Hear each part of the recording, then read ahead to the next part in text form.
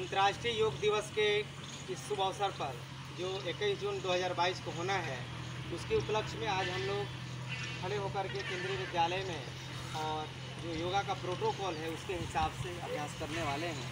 तो सबसे पहले खड़े होकर के ग्रीवा संचालन का, यानी गर्दन को हम लोग घुमाते हैं। तो सबसे पहले सांस को भरते हुए गर्दन को पीछे की ओर ले जाइए। सांस को छोड़ते हुए धीरे धीरे गर्दन को आगे की ओर धीरे धीरे करिएगा। इसको तीन तीन बार करिए। Moto.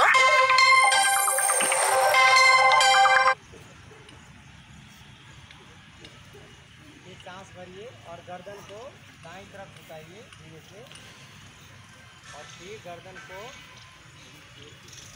बाएँ तरफ़ से झुकाइए आराम आराम से।